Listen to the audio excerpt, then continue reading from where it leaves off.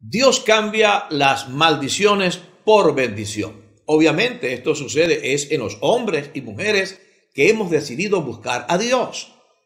Alguien dijo que maldición de burro no entra al cielo, no llega al cielo. Y esto funciona, esto es verdad.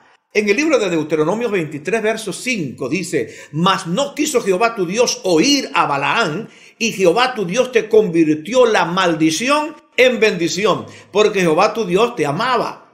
O sea que el amor de Dios sobre tu vida eh, transforma todas esas maldiciones, mentiras, blasfemias en bendición que vendrán sobre tu vida.